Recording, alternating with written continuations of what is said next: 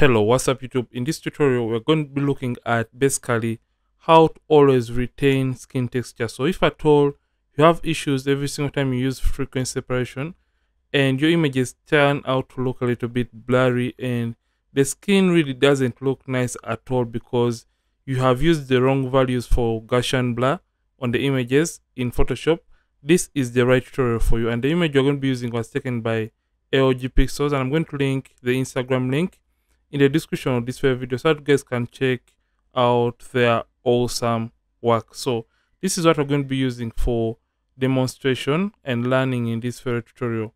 So after you have noticed this image, the very first thing that you have to notice is frequency separation is going to divide the image into the high frequency layer and the low frequency layer. In the high frequency layer, we have our textures and in the low frequency layer, we have our colors. So remember every single time you want to retain details, you also have to incorporate the colors within your image. So let me first of all demonstrate that for you. So I'm just going to come and create two layers from a background layer by pressing Ctrl or Command J twice. Then we're going to name this into color and we're going to name this into texture. So basically we have created the two layers that contain our frequency separation. So that after we combine the two layers, we are going to end up with the same image. So usually if at all you have a frequency separation action, it stops at this point whereby you have to determine the amount of textures you want to remain with in your final and retouched image. So usually what is happening when you play the action in the background, it means that it is going to stop at this point when, for example, you come to filter, then you come to blur, you come to Gaussian blur. Your action stops at the point when you have to apply your Gaussian blur. So this is the most important emphasis for this tutorial. So usually the radius may be all the way down. So like I said, if at all you're always struggling with textures in the images and retaining them, you have this option that says Gaussian blur and make sure the preview window is turned on. So you can use this option to zoom in and zoom out and you look for an area that has more or prominent skin textures than the rest of the image. So just look at the photo that you have and you look for that area that has more or prominent details than the rest of the skin. So the reason for looking for this area is because we always want the sample area. Meaning, if at all this area, for example, has more skin textures than the rest of the image, when we are taking up the radius for the Gaussian blur and we start losing out on these prominent or more visible textures in the image, it means that the rest of the textures in the image will have already gotten lost and they are not going to be visible at the end of the process. So Using this as a reference point, we are going to start taking up the radius. So like I said, your images may be having different levels of details or different amount of skin textures. So you, you always shouldn't cram this radius. I know of people that always cram the radius for the Gaussian and they apply it to every single image, which is wrong. So depending on the image that you're working on, you have to always take into consideration the details and you don't have to apply the same amount of radius of the Gaussian blur to every single image. Remember, images may be taken using cameras with different or varying megapixels and people usually have varying skin textures and the amount of lighting also differs from one image to another. So that is going to determine the amount of textures that are going to be captured within the image. So like I said, you come and you select this after getting a sample of the skin textures that are more visible in the image. So come to the radius and left click and start dragging up the radius as you're looking at this Gaussian blur preview window and also looking at the image in this case. So you have to be careful with this step because if at all you mess it up, you may not be able to achieve the best out of the skin textures in the image. So around at around 8, that is when I'm just starting to close out on the details. So at round 8, that is when I'm just starting to close out on the details. So you can see by clicking on the preview, you can see we have to stop at the point when you're just starting to close out on the details within the skin. Yeah, let me repeat that. You take up the radius slider as you're looking at the image in the preview option and also looking at the image on this other side. So when the textures that are prominent are just starting to get lost from the image, just stop at that point. Meaning the textures we lose out on this point are going to be the textures that we're going to be remaining with in our final and retouched image. So just come and simply hit OK. So this doesn't matter if at all you use the lasso tool or you use the mixer brush tool as a tool for retouching your images. So after doing this, you can see that the image tends to look a little, a little bit blurry. So just come to textures and turn it on. So this point we come to image and come down to apply image. So after this, you can set I'm using an 8-bit image. In this case, you can say I have 8 right here, meaning the image is an 8-bit image.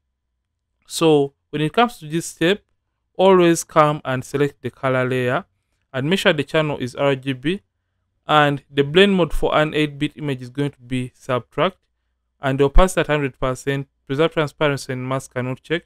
The scale is 2 and offset 128 and make sure the invert option is not turned on and you'll see the textures on this gray kind of layer. Then if at all you're working with a 16-bit image, so if at all you have 16 right here, meaning your image is going to be a 16-bit image, just come and simply select the color layer. The channel is still RGB. The blend mode this time around has to be add.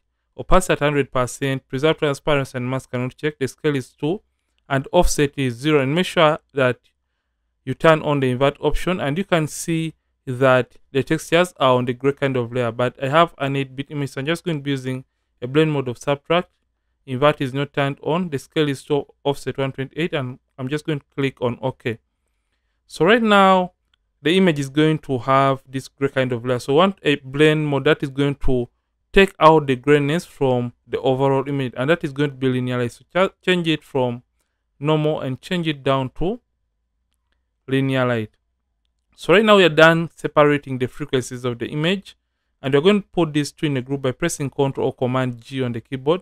And you can see there is no difference between the original image and our background image. So you can see it is more of a same thing.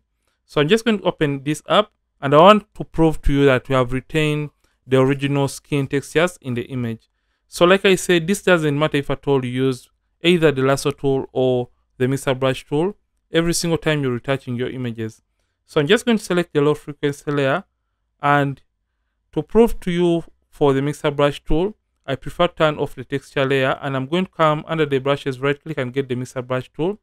And for settings, I'm just going to go through all these quickly. Hardness at zero, clean brush is selected. The option which says clean the brush after each and every stroke is also selected. The weight of 9, load of 75, mix at 90 and the flow of 100%. Make sure sample all layers is not checked. So make sure this option is not checked.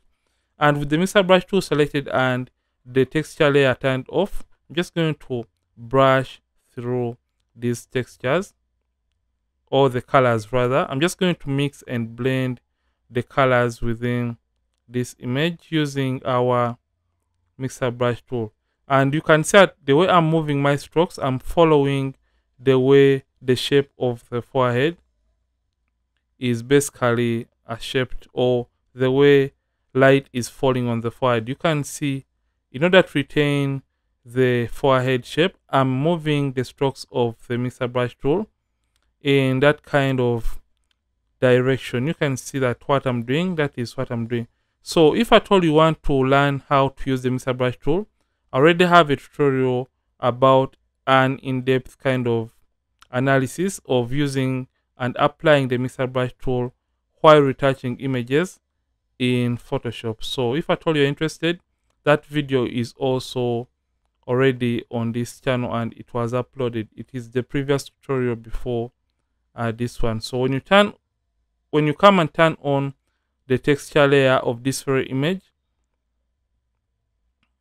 you can see that the original textures have been still retained in this very image. You can see the before and after. You can see the textures are still retained within the image and we have a nicely retouched image. Then if at all you use a lasso tool to retouch, I'm just going to come and select the lasso tool. The feathering is 22 pixels because I want the selection edges. I'm just going to press Q. You can see I want the select selected edges or the selection on the skin to have smooth edges. That is why my feathering is at 22 pixels. And I'm just going to press Q again to hide the mask. So you come and you make a selection onto the skin area, then come to filter and come to blur and come down to Gaussian blur with the low frequency layer selected. So this point is when you have to take up the radius. Up to a point when you're having a nice skin texture for your image. So at around 24, that is when I'm having a more natural and realistic skin texture for this very image.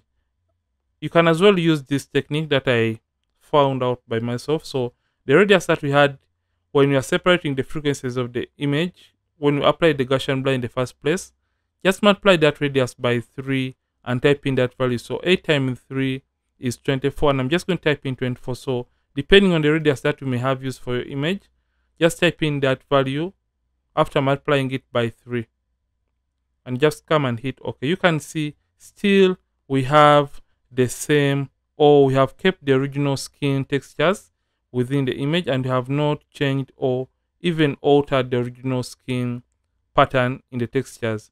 So basically this is how to know how to retain skin details or skin textures in your images. And if at all you have found this video helpful, don't forget to like this video. Don't forget to subscribe to this channel. If at all you have been watching and you're not subscribed yet to this channel, Ronnix from Ronnix Photography.